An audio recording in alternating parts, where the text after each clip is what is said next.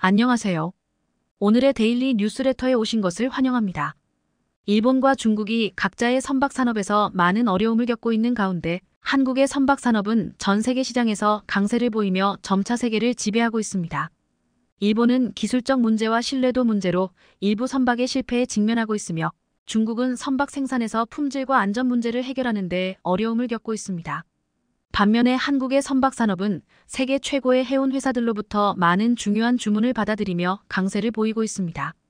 이 선박 산업의 번창은 한국 경제의 성장과 발전을 반영하면서 특히 선박 산업 분야에서 이 나라의 새로운 기회를 창출하는 데 기여하고 있습니다. 좀 더 자세히 살펴보겠습니다. 2021년 이집트 수에즈 운하에서 좌초에 모든 배들의 동행을 막으면서 전 세계를 물류 공포에 휩싸이게 만들었던 초거대 컨테이너선 에버기브노를 기억하시나요? 지난 2021년 3월 23일 컨테이너 선박 에버기브노는 수에즈 운하에서 좌초돼 운하의 통행은 6일간 완전히 차단됐고 이집트는 운하가 막히면서 천문학적인 손실을 입었다며 에버기브노의 선사인 에버그린에 1조 원대의 손해배상을 청구했습니다.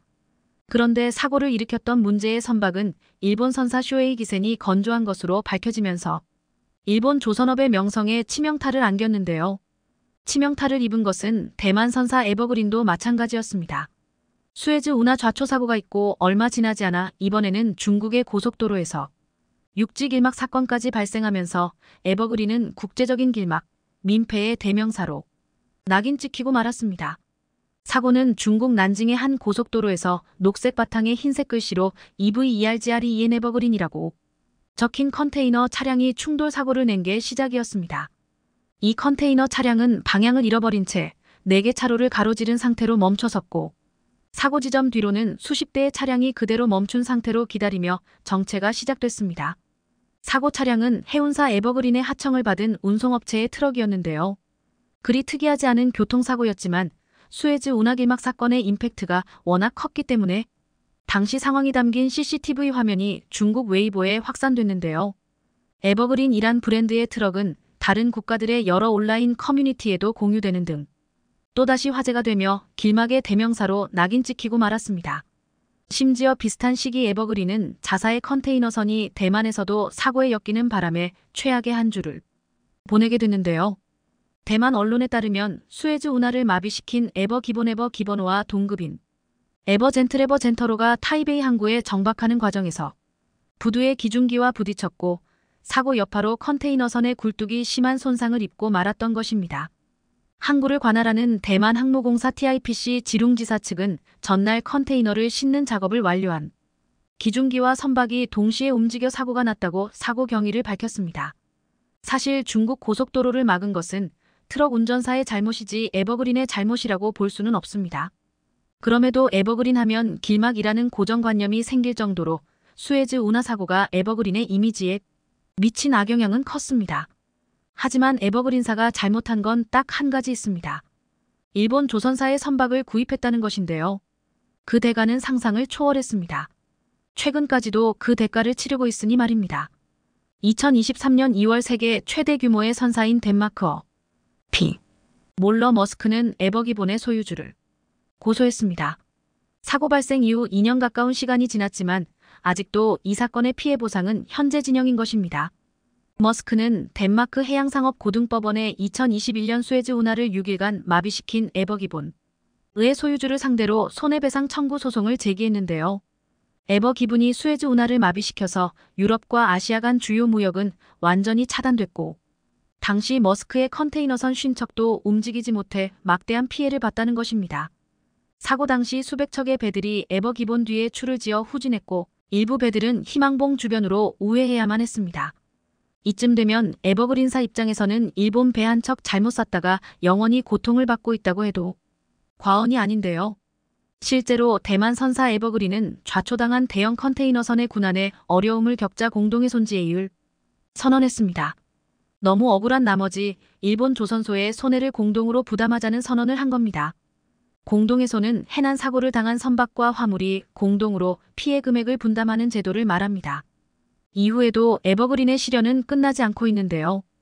1년 전 에버그린의 1만 2천 t 유급 컨테이너선 에버포워드는 미국 동부 지역 불티모어항 시거트머린 터미널을 출발한 뒤 같은 날 저녁 체서피크만 해상에서 좌초했습니다.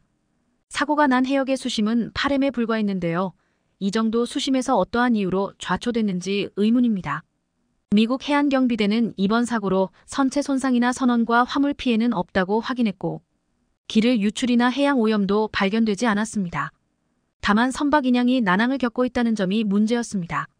에버그린은 미국 해양구난 회사 돈존 스미트를 기용했고 해양구난 회사는 배 주변을 준설한 뒤 밀물 시간을 기다려 이틀간 배를 진흙바닥에서 건져내려고 시도했지만 모두 실패로 돌아가고 말았습니다. 결국 다음 만조 시기까지 기다려야 했고 세 번째 시도 끝에 좌초된 지 한 달 만에야 겨우겨우 구조됐는데요. 세 번째 시도에서는 무게를 가볍게 하기 위해 선박에 실려있던 5영여 개의 컨테이너 중 500개를 내리고 주변 해저를 13.1m까지 준설하는 작업을 진행해야 했습니다. 이처럼 계속 문제를 일으키자 대만 선사 에버그린은 두 손 두 발 다 들고 1년 전 이집트 수에즈 운하에서 좌초된 에버기본 호처럼 에버포워드에 대해서도 공동의 손지혜의를 선언했습니다. 앞서 에버그린은 자사의 배가 수에즈 운하 차단으로 막대한 물류 피해가 발생하자 선주사인 일본 쇼에이 기센에게 공동의 손을 선언한 바 있습니다. 그리고 일본 조선사에 질려버린 대만 해운사 에버그린은 이제 일본을 완전히 손절하고 한국의 초대형 일감을 맡기기 시작했습니다. 실제로 기존의 상당수의 발주 물량을 일본에 맡겼던 에버그린은 이제 대부분의 물량을 한국에 넘기며 일본과 중국이 큰 충격에 빠졌습니다. 삼성중공업이 세계 6위 컨테이너 선사대만 에버그린으로부터 일감을 대거 따냈습니다. 3일 업계에 따르면 삼성중공업은 에버그린으로부터 1만 6천 티 유급 컨테이너선 24척에 건조일감 대부분을 확보했다고 밝혔습니다. 금액으로 보자면 4조 원 규모로 단일 계약으로는 역대 최대 규모입니다. 삼성중공업은 아시아 지역 선주사로부터 1만 6천 티 유급 메탄올 추진 컨테이너선 선가는 척당 1억 7천5백만 달러, 하나로 약 2,300억 원 수준으로 4조 원 규모입니다. 신조선은 메탄올 이중 연료 추진 컨테이너선으로 2026년과 2027년에 인도될 예정입니다. 그런데 이번에 주목할 점은 대만 에버그린이 기존에는 일본에게 대부분의 물량을 맡겼었고 저렴하게 주문할 선박은 중국에게 맡겼었는데 이제는 가장 우선순위로 한국에 맡긴다는 점입니다. 에버그린은 올 초 1만 6천 티 유급 이중연료 컨테이너선 입찰을 시작했습니다. 삼성중공업을 비롯해 하나오션, HD현대중공업에 입찰 참여를 요청했습니다. 일본 니온조선소와 대만국제조선공사 CSBC, 중국 다렌조선 DSIC, 강남조선소, 후동중화조선, 양쯔장조선도 참여했습니다. 이후 삼성중공업과 일본 니온조선소가 최종 후보로 압축됐습니다. 어쨌든 대만과 중국과의 관계가 굉장히 민감한 상황이니 중국이 아무리 단가를 낮춰도 중국에는 물량을 절대 줄 수 없다는 입장을 나타낸 것입니다. 결국 최대 물량을 삼성중공업이 따내면서 주인공이 됐는데요. 이번 수주 덕분에 중국과 일본의 충격이 이만저만이 아닙니다. 삼성중공업 대거 수주 배경에는 과거 에버그린으로부터의 수주 이력이 바탕이 됐습니다. 수에즈 운하 사태 이후로 일본 조선소의 발주 물량을 점점 줄이던 에버그린은 지난 2019년에 삼성중공업에 2만 3천 티 유급 컨테이너선 6척을 발주했습니다. 당시 척당 1,831억 원 수준으로 총 수주가는 1조 1천억 원에 달하며 크게 주목을 받았는데요. 이어 2021년에는 동사로부터 1만 5천 티 유급 컨테이너선 20척 건조 주문을 받으며 본격적으로 한국의 독주 체제에 쐐기를 찍었습니다. 대만 에버그린도 모든 물량을 삼성에 맡기고 싶었지만 이번에 발주한 물량이 단일 조선소가 수주하기에는 너무 많은 물량이라 어쩔 수 없이 일부 물량을 일본의 니온 시베드에게 줄 수밖에 없었습니다. 상황이 이렇자 또다시 무슨 문제가 생길까봐 크게 걱정하고 있을 것 같은데요. 어찌됐든 이제 이번에 발주 물량의 대부분을 한국의 삼성중공업이 가져오면서 향후 추가 수주도 기대됩니다. 에버그린과 양밍해운이 1503,000T 유급 메탄올 이중 연료 추진 컨테이너선 최대 20척 발주를 검토하고 있기 때문입니다.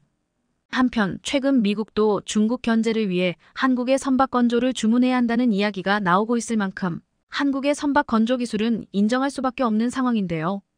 미국 내에서 한국 조선 산업기술력에 대한 평가는 매우 좋습니다. 실제로 미 해군의 선박을 담당하는 총사령관이 몇 달 전 한국을 방문해 조선소들을 둘러보면서 화제를 모으기도 했습니다. 이렇듯 국내 조선업계가 전 세계의 기술력을 뽐내고 있는 와중에 이번에 삼성중공업이 메탄올 추진 컨테이너선을 대거 수주하며 고부가 가치 친환경 수주 선박에서도 존재감을 뽐내고 있습니다. 메탄올 추진 컨테이너선은 전 세계 주요 선사들이 주목하는 대체 연료 선박입니다.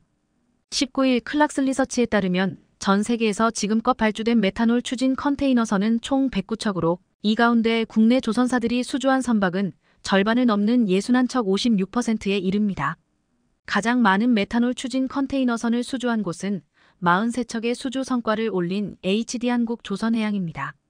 세계 최대 해운사인 머스크가 HD한국 조선해양의 메탄올 추진 컨테이선을 대거 발주한 덕분입니다. 머스크는 2021년 6월 현대 미포 조선에 발주한 메탄올 추진 컨테이너선을 최근 인도받았습니다. 나머지 선박도 2025년 하반기까지 순차적으로 인도받을 예정입니다. 그런데 이번에 삼성중공업이 대만 에버그린과 1만 6천 티 유급 메탄올 추진 컨테이너선 16척을 따내는 초대형 계약으로 한국 조선사의 독주가 지속되고 있습니다. 삼성중공업의 수주 계약 체결로 메탄올 추진 컨테이너선에서 국내 조선사들은 중국을 앞질렀습니다. 현재 중국 조선사들이 수주한 메탄올 추진 컨테이너선은 48척입니다. 당초 대만 선사 에버그린은 중국 조선소도 후보군에 올렸지만 정치 경제적 이유 등으로 한국과 대부분의 물량 계약을 체결했습니다. 이처럼 글로벌 조선업계의 메탄올 추진 컨테이너선이 주목받는 이유는 국제회사기구 IMO의 해양환경보호위원회 MPC에서 기존 탄소 배출 감축 목표를 강화하고 있기 때문입니다. 최근 발표에 따르면 2050년까지 탄소 배출량 대비 2008년의 절반으로 감축하겠다는 목표를 제시했습니다. 환경 규제가 강화됨에 따라 대형 해운사를 중심으로 친환경 에너지원을 사용하는 선박으로 전환을 꾀하고 있으며 그중 하나가 메탄올입니다.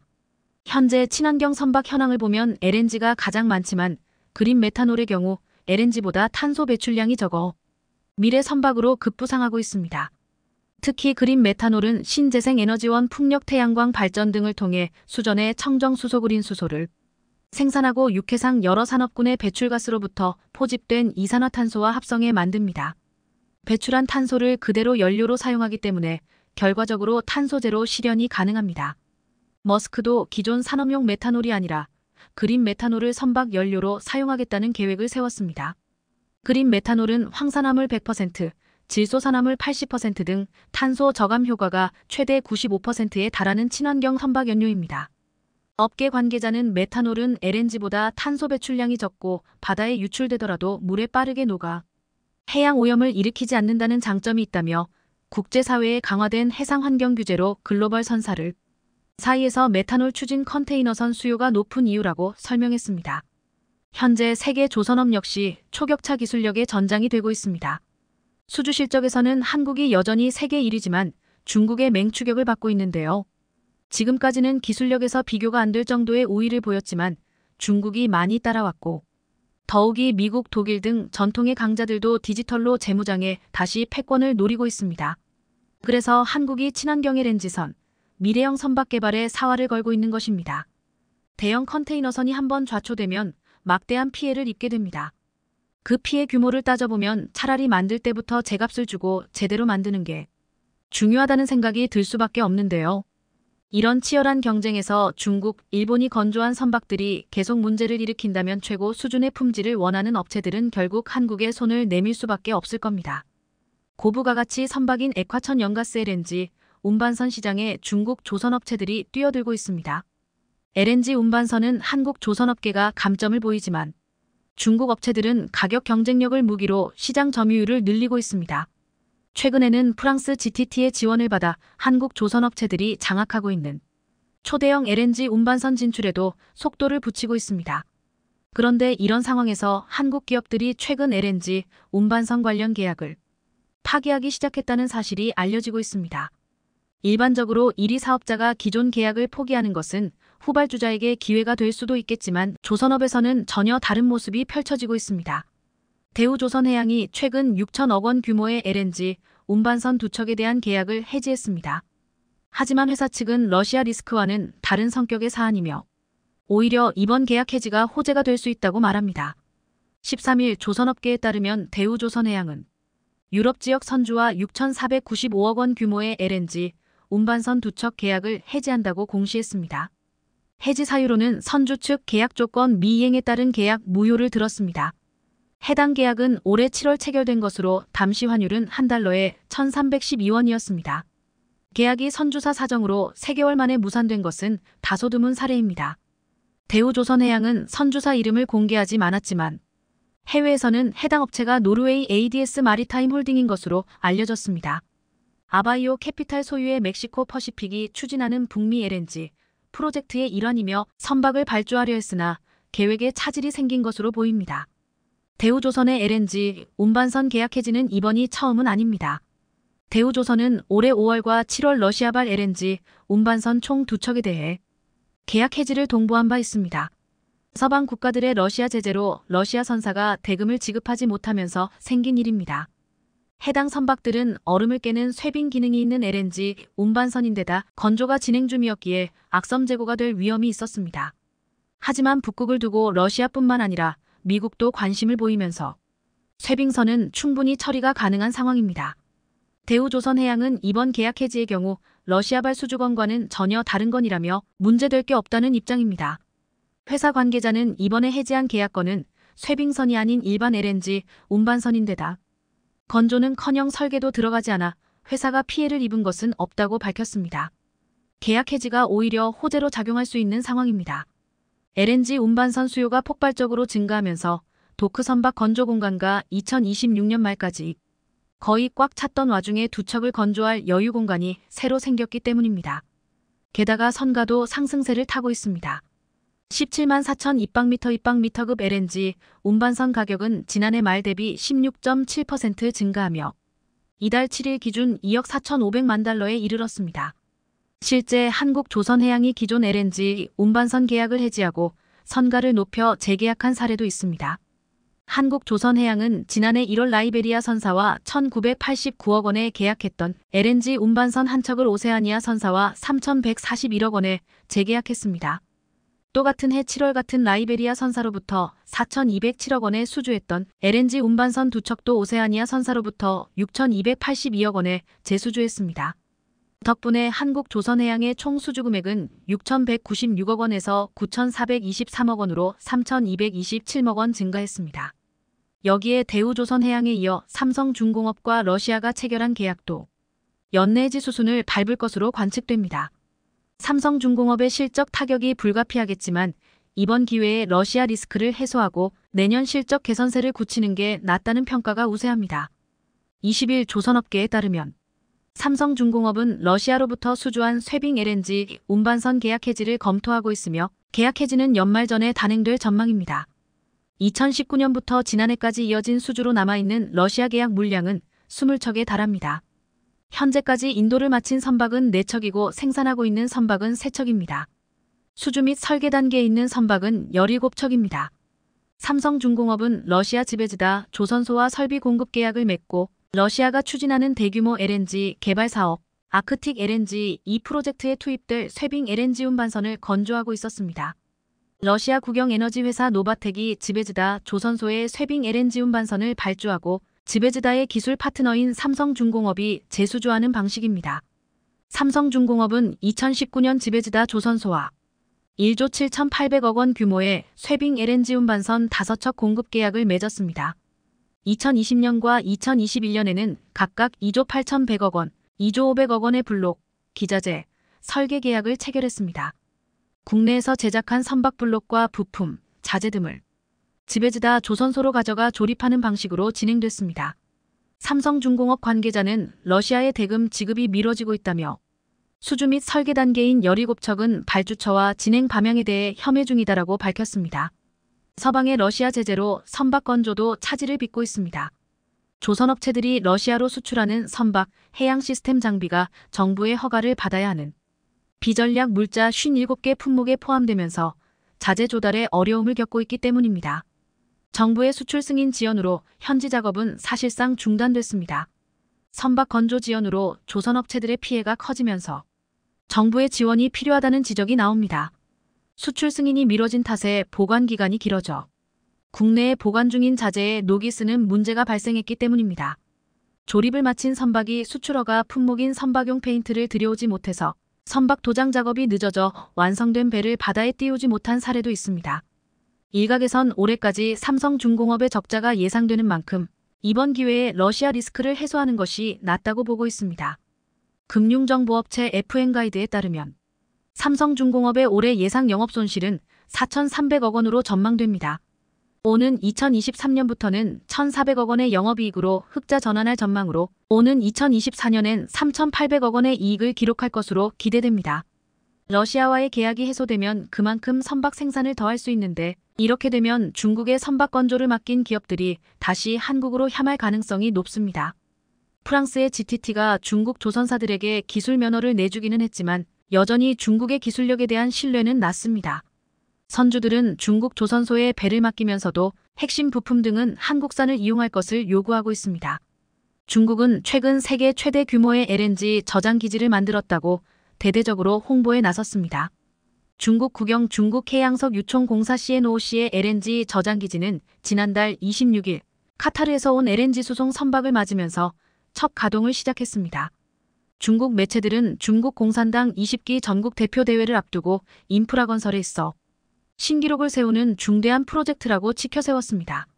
쉬빈 장수 CNOC 부서기 부총재는 LNG는 업계에서 인정받는 청점 녹색 에너지라며 이곳은 LNG 저장, 유통 인프라, 수송 등 기능뿐 아니라 냄남밤 에너지 발전, 수소 추출 등 기능을 갖춘 녹색 청정 에너지 허브라고 설명했습니다. CNOC는 130억이 만약 2조 6,200억 원을 투자해 현재 1기 프로젝트 가운데 22만 KL급의 저장 탱크 사기를 최근 완공했고 27만 KL급 6기를 내년에 추가로 가동할 예정입니다.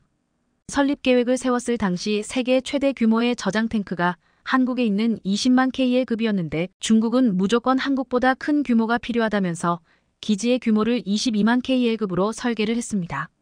그런데 중국이 기지를 완공하는 사이 한국가스공사는 지난 2017년 감원도 삼척에 있는 LNG 기지에 27만 KL급 저장 탱크 3기를 세계 최초로 준공했고 당진 LNG 기지에는 27만 KL급 저장 탱크 4기를 2025년 완공할 예정입니다. 중국은 어떻게든 숫자로 한국보다 뛰어나다는 점을 강조하려고 하지만 실상은 한국 기술에 대한 의존도가 높습니다. 한국은 프랑스, 일본에 이어 세계 세 번째며 LNG 저장 탱크 설계 기술을 보유하고 있는 국가입니다. CNOC는 부품을 96% 이상 중국 국산화에 1억 700만 위안의 비용을 절감했지만 여전히 한국, 독일 등에서 핵심 부품을 수입하고 있는 상황입니다. 현재 중국이 LNG 선박 시장에서 조금이라도 물량을 확보할 수 있는 것은 결국 전적으로 한국의 생산 능력이 한계에 다다랐기 때문입니다. 그런데 한국이 러시아와의 계약을 취소함에 따라 굳이 중국의 선박 건조를 맡겨야 할 이유는 없습니다. 그나마 한국에게 거절당한 러시아만이 중국의 선박 생산을 부탁할 수 있는 정도입니다. 여기에 핵심 부품의 경우 한국을 비롯한 서구권 국가에게 공급받는 상황으로 언제든지 중국의 LNG 운반선 생산을 막을 수 있는 상황인 것입니다. 한국 기업들의 과감한 결정이 LNG 운반선 시장에서 한국을 따라잡으려던 중국에게 치명적인 타격을 입힐 것으로 보입니다. 최근 미국의 금리 인상 기조가 이어지면서 세계 경제어 들이운 어두운 그림자가 더욱 짙어지고 있습니다. 물론 우리나라 경제도 안 좋은 영향을 받고 있지만 그동안 막대한 부채를 통해 건강하지 못한 경제 성장을 해온 국가들 위주로 위기가 더욱 증폭되고 있는데요. 그 중에서도 경제 전문가들이 가장 예의주시하는 국가는 바로 중국입니다. 올해 상반기까지 중국의 국가 부채는 국내 총생산 GDP의 275%를 기록하는 등 역대 최대 수준에 도달한 상태인데요. 문제는 중국 내 모든 동계와 부채 등 대외적으로 알려지는 데이터는 중앙정부의 강력한 통제 안에 있어 어느 정도 불리한 점을 감추고 유리한 점을 부각시키는 것이 가능합니다. 그 결과 중국의 자본 금융시장은 다른 선진국에 비해 불투명하다는 것이 익히 알려져 있고 결정적으로 중국에 투자하는 해외 투자자들의 불안 심리를 가중시킬 만한 요소와 데이터는 중앙정부 차원에서 축소시키기도 글로벌 신용평가 기관들은 중국 중앙정부에서 밝힌 경제 관련 정보를 완전히 신뢰하지는 않고 있습니다.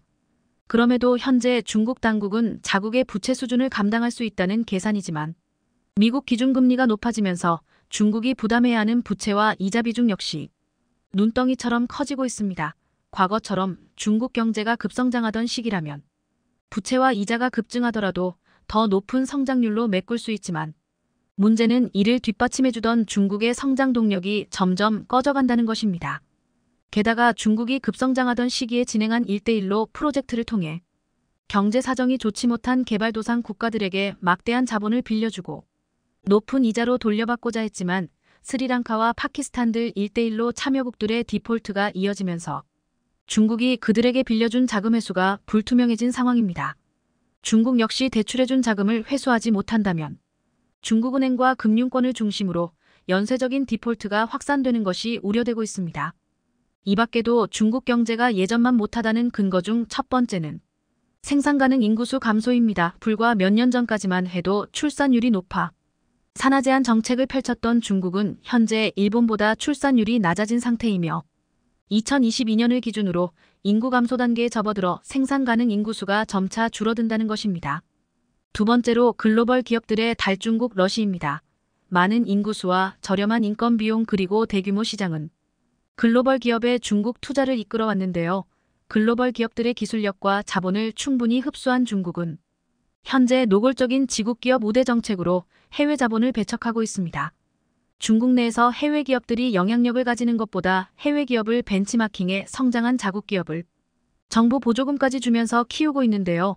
이에 반발한 미국, 유럽 등 서방 세계에선 불공정한 기업 환경을 조성한 중국을 제재 중으로 대표적으로 반도체를 비롯한 첨단 산업에서 중국의 발전을 막고 있는 것입니다. 중국은 세계 1위의 반도체 수입 국가로 2021년 기준으로 반도체 수입 금액은 4,700억 달러, 우리 돈 622조 원에 달합니다. 반면 중국의 석유 수입량은 300조 원 수준으로 중국은 석유를 수입하는 것보다 2배나 많은 양의 반도체를 수입하고 있습니다. 우리나라 1년 예산이 600조 원 수준인 것을 감안하면 중국의 반도체 수입량이 상상을 초월하는 것을 알 수 있지만 반대로 이런 동계를 통해 중국의 반도체 독립은 사실상 불가능한 수준이라는 걸 알 수 있습니다. 시진핑 주석은 반도체 굴기를 통해 2025년까지 반도체 필요량의 70%를 자급자족하겠다는 계획은 이미 물거품이 되었고 현재 중국 반도체의 자급률은 4% 수준에 불과합니다. 그만큼 미국과 유럽의 반도체 제재가 효과적으로 작동하고 있으며 반도체 기술의 경우 하루가 다르게 발전하기에 기술 격차가 곧 경쟁력으로 작용하는데요. 중국은 한국과 기술 격차가 5년 이상 나기에 통계적으로 경쟁 자체가 불가능한 수준입니다. 그런데 반도체 굴기엔 실패했지만 그동안 한국이 세계 1위를 제패하던 디스플레이 LCD 분야에서 중국의 공격적인 추월으로 세계 1위를 내주었습니다.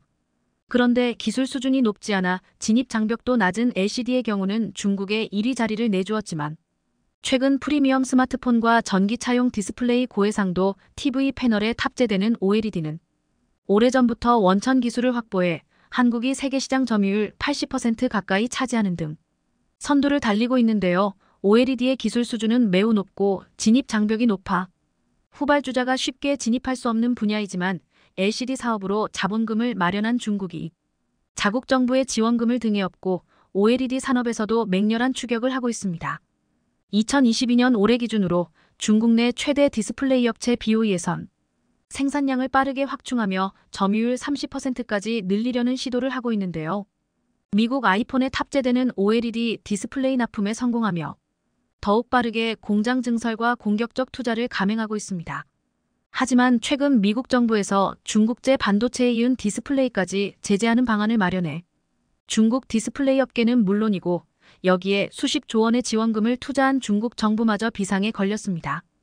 미국 현지 다수의 IT 매체와 경제지에선 미국 정부가 중국 디스플레이 업체에 납품되는 핵심 소재와 제조 장비 수출을 제한하도록 하는 방안을 검토 중이고 해당 제재가 시행되어 중국제 디스플레이가 퇴출되는 경우 글로벌 경제에 미치는 영향과 스마트폰 자동차부터 TV 시장까지 디스플레이가 사용되는 산업 전반에 미치는 영향을 검토 중이라는 소식이 전해졌습니다. 이번에도 중국은 디스플레이 제재를 정면으로 받을 수밖에 없는 이유가 있는데요. 제일 먼저 디스플레이 생산의 핵심 제조 장비는 전부 미국의 특허가 적용되어 생산되고 있습니다. 게다가 OLED 소자의 핵심 발광 물질인 도펀트는 미국 유니버셜 디스플레이에서 90%에 달하는 점유율을 가지며 독점적인 시장 지위를 가지고 있습니다. 그리고 미국 기업인 코닝은 OLED 유기 발광 소자가 내는 빛이 제대로 투과될 수 있는 유리 기판을 제작하고 있는데요. 압도적인 기술력으로 시장 점유율 70%를 가지고 있습니다. 여기에 추가적으로 삼성 SDI의 자회사인 독일의 NOVALED 역시 OLED 원천 핵심 기술을 보유하고 있는데요. 중국형 가지지 못한 핵심 소재와 장비 기술력을 확보해 안정적인 OLED 사업 활동과 연구 개발이 가능합니다. 한국 기업의 OLED 소재 부품 국산화율은 60%를 넘었고 2030년까지 90%를 목표로 연구 개발을 진행 중입니다. 하지만 중국 디스플레이 업체의 경우는 소재 부품 국산화율이 12%에 불과한 것으로 알려져 있고 88%에 달하는 소재를 수입하여 OLED 패널을 생산해 납품하고 있다는 것입니다. 이런 구조는 경쟁 국가의 제재에 매우 취약한데요. 미국이 이런 상황을 노린 것으로 보입니다. 한국 기업들은 과거부터 이런 상황을 충분히 겪어 현재는 면역이 생긴 것으로 보이는데요. 대표적으로 중국의 사드 보복과 일본의 반도체 소재 수출 규제로 인한 국내 기업들은 해외 수입에 의존하던 핵심 소재를 국산화했으며 자급률을 급격하게 끌어올렸습니다. 주변 경쟁 국가들의 이런 견제는 한국의 핵심 산업에 종말을 가져다 주기보다 스스로 극복하는 능력을 키워주면서 오히려 성장의 발판이 되는 계기가 되었는데요. 반면 중국에 시행되는 제재는 그렇지 않습니다. 반도체와 OLED 원천 기술을 보유한 미국의 제재는 중국 디스플레이 산업은 반도체 산업과 마찬가지로 모래성 무너지듯이 무너질 것이란 전망입니다. 마치 중국을 대표하는 IT 업체인 화웨이가 중국 내 스마트폰 시장 점유율 1위를 차지하다가 미국의 제재 이후 단 2년 만에 점유율 5% 이하로 하락한 것처럼 디스플레이 업체, 특히 기술 진입 장벽이 높고 해외 소재와 장비에 의존을 많이 하던 OLED 산업이 직격탄을 맞게 될 것이란 분석이 나오고 있습니다. 중국 디스플레이를 대표하는 BOE는 최근의 상승세와 자국 정부 지원금을 이용해 생산 공장 라인을 공격적으로 확장해왔습니다. 지난해 공장 생산량이 6천만 대 수준이었지만 중국 청두와 면양 지역의 최신 OLED 생산 라인을 가동하면서 곧 연간 생산량 1억 대 돌파할 것이라는 계획인데요. 이는 디스플레이 업계에서 전례 없던 공격적인 투자입니다. 그런데 BOE는 여기서 그치지 않고 충칭 지역에 새로운 OLED 공장을 건설 중에 있어 올해 말부터 가동에 나설 것이란 계획입니다. 여기마저 가동이 시작되면 BOE의 연간 디스플레이 출하량은 1억 2천만 대 수준으로 글로벌 시장 점유율 40%가 거뜬한 상황입니다. 하지만 소재 부품 장비를 자급자족할 기술력이 없는 중국은 미국의 본격적인 제재 앞에 수십 조 원을 투자한 공장을 가만히 내버려둘 상황에 놓였습니다. 우선 공장에 투입될 소모성 장비와 부품의 수입이 즉시 중단되게 되며 OLED의 핵심 소재들 수입 역시 막히게 돼 세계 시장에서 경쟁할 만한 고품질 OLED 생산이 원천적으로 불가능해집니다. 그런데 이런 제재는 한국 기업들에게 긍정적인 영향을 주게 될 것으로 보입니다. 현재 BOE 매출을 담당하던 미국 기업들은 BOE와의 거래를 끊을 것이며 삼성과 LG 디스플레이가 반사 이익을 얻게 될 것이라는 전망입니다.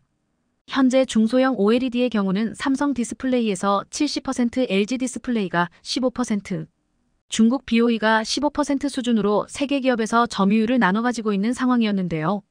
BOE가 제재로 타격을 받으면 자연스럽게 삼성과 LG가 파이를 나누게 된다는 것입니다. 그런데 미국의 제재 말고도 BOE에게 닥친 위기가 있는데요. 빠르게 공장 설비를 늘리면서 구매한 OLED 생산 장비의 구매 대금 납기일이 밀렸다는 것입니다. 장비를 지급받은 지 30일 내로 대금 지급을 완료하던 BOE는 지난 9월부터 경영 악화로 인해 대금 지급일을 90일 이내로 완료하겠다는 일방적인 통보를 해왔는데요. 이로 인해 디스플레이 업계에서 BOE에 대한 신뢰도가 많이 하락했으며 여기에 업계 관계자들은 미국이 중국 디스플레이를 제재한다는 소식에 BOE가 제일 먼저 가장 큰 타격을 입을 것이라 예상하고 여기에 납품한 장비 업체들이 납품 대금을 제때 받지 못할 가능성을 우려하고 있습니다. 중국의 OLED 점유율은 2017년엔 1%에 불과했지만 2022년 현재 15%까지 상승하는 등 5년 만에 15배가 증가했습니다. 우리 업체들은 몇 년 전만 해도 LCD 시장 점유율 1위였지만 현재는 중국의 과반 이상의 점유율을 내주고 LCD 산업에서 사실상 철수했는데요. 고급 기술이 투입되어 고부가 가치를 낼 수 있는 OLED에서도 중국의 추격에 꼬리가 잡힐까 하던 우려는 미국의 글로벌 제재로 일단락될 것으로 보입니다. 최근 이재용 회장이 삼성 SDI 연구소의 전고체 배터리 시험 생산 파일럿 라인을 둘러본 것은 그만큼 자신감에 의한 표출로 업계에서는 보고 있습니다. 전기차 시장의 게임 체인저가 될 궁극의 배터리, 전고체 배터리 개발이 거의 막바지에 다다르지 않았나 하는 예상이 나옵니다. 마이크로 LED와 차세대 반도체 패키징, 퀀텀 다큐디 OLED에 이어 삼성의 미래 먹거리를 책임질 혁신 기술이 삼성 SDI에 의해 첫 선물 보일 것으로 기대되고 있습니다. 고체 샐러드, 톡보적솔, 그리고 삼성 SDI의 앞글자를 따서 지어진 생산 라인은 일명 S라인으로 불립니다. 그만큼 여러 의미를 담고 있는 S라인은 약 2,000평 규모로 조성 중인데 하반기에 이르러 시제품 생산에 들어갈 예정이고 시제품은 소형 배터리가 될 것으로 알려지고 있습니다. 이를 바탕으로 점차 제품 라인업을 늘려나갈 것으로 보입니다. 이런 삼성 SDI의 행보를 지켜보고 있던 몰리버 집세 BMW 회장은 지난해 12월 한국을 직접 방문해 이 회장과 긴밀한 협의를 한 이후 이어 경영진이 한국을 방문해 전고체 배터리 관련 협력 방안을 논의한 것으로 알려져 있습니다. 최근 BMW는 전기차 분야로 두각을 나타내고 있는데 주행 기술은 세계 정상급이지만 배터리만큼은 삼성 SDI에 의지하고 있습니다. 3년 전 배터리 개발을 천명했다가 1년 만에 포기하고 이를 해결할 파트너로 일찌감치 삼성전자를 지목해 오랜 관계를 유지하고 있는 중입니다. 그에 따라 전고체 배터리 시제품은 BMW 일부에도 장착돼 테스트용으로 사용될 것으로 보입니다. 전고체 배터리가 미래 전기차 시장의 게임 체인저로 평가받는 이유는 성능, 화재 안전성 모두 지금의 전기차 배터리보다 훨씬 우수하기 때문인데 특히 기존 배터리보다 에너지 밀도가 높습니다. 이는 배터리 부품 수 및 부피 감소로 이어지게 되고 이는 차량을 설계할 때 지금보다 더 넓은 공간을 확보하는 데 도움이 될 수 있다는 의미입니다. 삼성 SD는 2013년부터 전고체 배터리 관련 기술을 선보이면서 10년 가까이 기술 고도화에 힘쓰고 있는 상황입니다. 덕분에 주행거리 800km, 1,000회 이상 충방전이 가능한 전고체 배터리를 개발하는데 성공하기도 했습니다.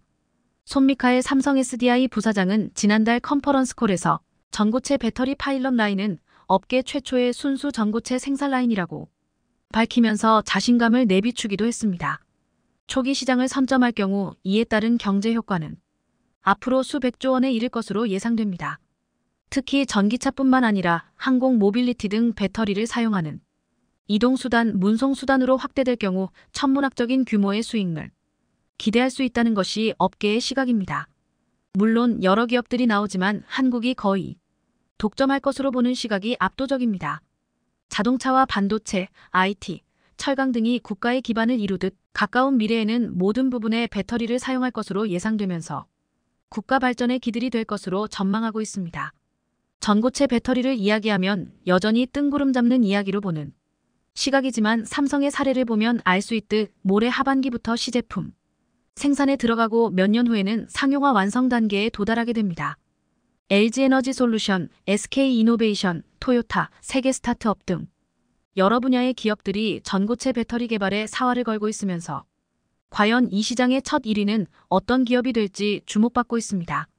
글로벌 경기 침체의 여파로 작년 4분기 세계 디램 반도체 시장이 전분기 대비 30% 이상 줄어든 것으로 나타났지만 삼성전자는 인텔을 제치고 글로벌 반도체 기업 1위에 몰랐습니다. 삼성전자 반도체 사업 부문은 지난해 670억 5,500만 달러의 매출을 몰리면서 같은 기간 미국의 인텔 608억 1천만 달러를 62억 4,500만 달러 10.3% 앞섰습니다. 또한 업계 1위인 삼성전자도 매출은 줄었지만 유일하게 점유물은 4.4%포인트 증가하는 위력을 발휘했습니다.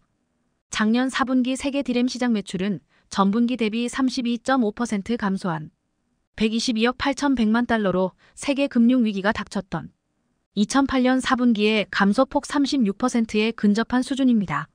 업체별로는 모든 기업의 매출이 하락했는데 1위 삼성전자의 작년 4분기 매출은 55억 4천만 달러로 전분기 대비 25.1%가 줄었지만 반면 시장 점유물은 40.7%에서 45.1%로 뛰어 시장 95% 이상을 장악한 빅3업체 가운데 유일하게 상승했습니다.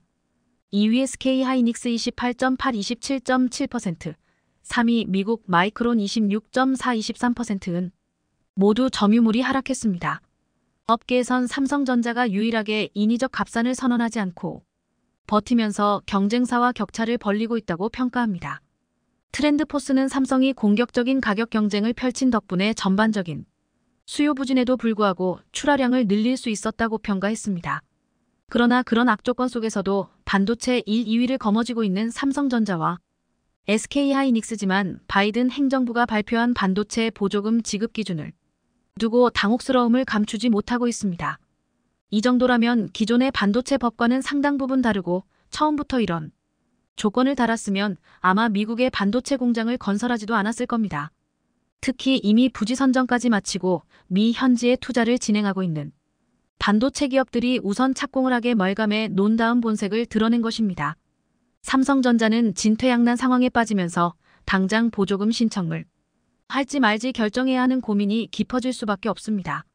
정인교 인하대 국제통상학과 교수는 미국 중심으로 통맹국들이 기술 연합이 이루어지는 상황에서 미국과 같이 가지 않을 수도 없는 노릇이다이라면서 원래는 정부 간 협상을 통해 정할 문제를 미 정부는 약자들인 기업들한테 직접 가이드라인을 제시하면서 기업들의 부담이 더 커질 수밖에 없다고 했습니다. 이 내용을 보면 기가 막힐 정도입니다. 이건 눈 떠 있는 상태에서 물건을 훔쳐가는 도톡들과 똑같습니다.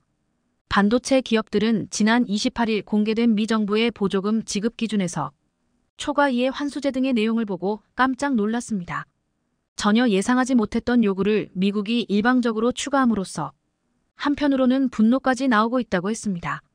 미 상무부는 1억 5억만 달러 약 2영억 원 이상의 반도체 보조금을 받는 기업은 초과 수익의 일부를 미 정부와 공유해야 한다는 원칙을 밝히면서 미 상무부는 기업이 제출한 수익 전망치 대비 실제 수익이 크게 못 돌 경우 최대 보조금의 75%를 가져갈 수 있다는 조건까지 달았습니다.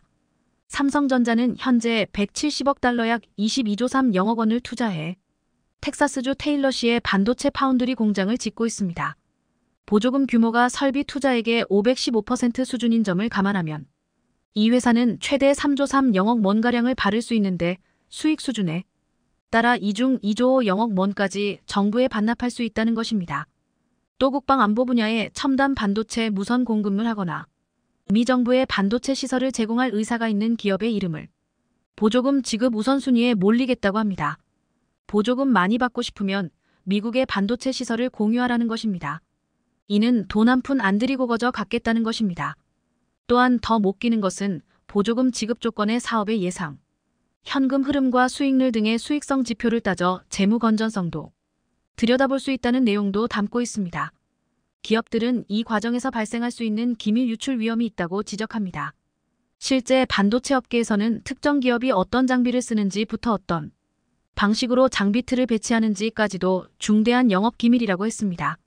반도체가 나노 단위의 아주 미세한 공정을 통해 생산되는 만큼 작은 차이만으로도 생산 효율이 크게 개선될 수 있기 때문이라는 것입니다. 삼성전자를 추격하고 있는 마이크론과 인텔에게 삼성전자의 제조 노하우가 흘러들어갈 수 있다는 지적이 나오고 충분히 그럴 가능성이 농후하다는 것이 업계의 얘기입니다. 김선우 메리츠증권 연구원은 재정 지원을 받으려면 미상무부에 제조시설의 세부 사항이나 기술 역량을 공개하라는 것과 같은 건데 반도체 생산 공정은 제조기업의 극비 사항으로 뭔가 및 성능 경쟁력에 직결되는 부분이라며 경쟁사와 공정에서 얼마나 차이를 내느냐가 중요한 반도체 산업에서 정보 공개는 치명적일 수 있다고 지적했습니다. 또한 미국의 정책은 중국에 수십조 원 쏟아부어 지은 공장이 무용지불이 될 수 있다고 비난했습니다. 결국 믿는 도끼에 발등 찍혔다는 말이 남을 수밖에 없는 상황입니다. 이런 나라하고 무슨 동맹이라고 하고 미래지향적인 일을 추진합니까? 이런 것들을 보고 날강두도라고 합니다. 고작 몇 조 원 집어주고 수십조 수백조를 도톡질해 가려는 미국의 행태에 분노하지 않을 수 없습니다. 그렇지 않습니까? 한국 정부는 도대체 뭐하고 있습니까? 정말 답답합니다.